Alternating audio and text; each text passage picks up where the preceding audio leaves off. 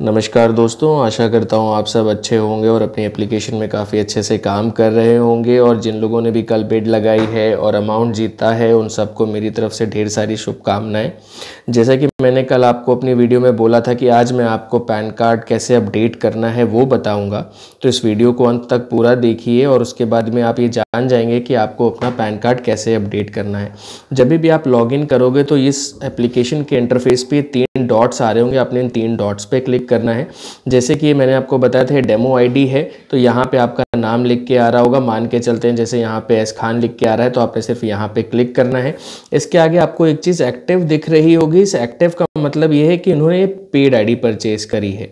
जब आप free ID पे काम कर रहे होगे तो यहाँ पे आपको इनएक्टिव दिखाई देगा।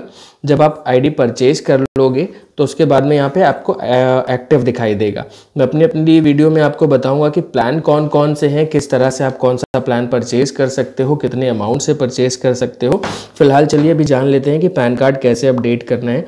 जब आप यहाँ पे क्लिक करोगे तो आप यहाँ पे देखोगे बहुत सारी डिटेल्स आपके पास में आ रही हैं, जिसमें सबसे पहले है यूज़र आईडी नाम email ID mobile number gender address ये सारी चीज़ें। जब आप स्क्रॉल करके थोड़ा सा नीचे जाओगे तो यहाँ पे आपको दिख रहा होगा कि आधार नंबर यहाँ पे आप अपना आधार नंबर डाल सकते हो, यहाँ पे आप अपना पैन कार्ड नंबर डाल सकते हो, आप किसी को अपना नॉमिनी बना सकते हो नॉमिनी का नाम नॉमिनी की डिटेल यहाँ पे आपके पास में लॉगआउट का भी ऑप्शन है। उसके बाद अगली साइड आपको यहाँ पे दिख रही होगी बैंक डिटेल तो आप सबसे मेरी रिक्वेस्ट है, जो भी बैंक अकाउंट आप बहुत फ्रीक्वेंट यूज़ करते हैं, जिसमें ट्रांजेक्शन करते हैं, उस बैंक अकाउंट की डिटेल डाल दीजिए। यहाँ पे अपना नाम डालिए, अपना बैंक अकाउंट नंबर डालिए बैंक का नाम डालिए आईएफएससी कोड और ब्रांच डाल के इस ग्रीन वाले बटन को दबा के इस चीज़ को अपडेट कर लें। तो ये सारी डिटेल्स हमारे पास में अपडेट हो जाएँगी।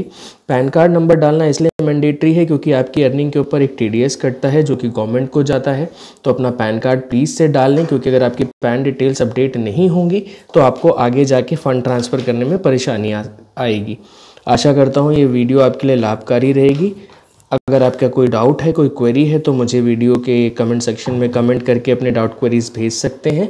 कल की वीडियो में हम जानेंगे कि बिडिंग के बारे में और ज़्यादा कि बिडिंग कैसे करनी है क्या क्या चीज़ें इस एप्लीकेशन के अंदर और हैं और कौन कौन से ऐसे तरीके हैं जिनसे हम और पैसा कमा सकते हैं। तब तक आप सब लोग अपनी ये टास्क पूरे करते रहें बिड लगाते रहें और अपनी किस्मत को आजमाते रहें। नमस्कार।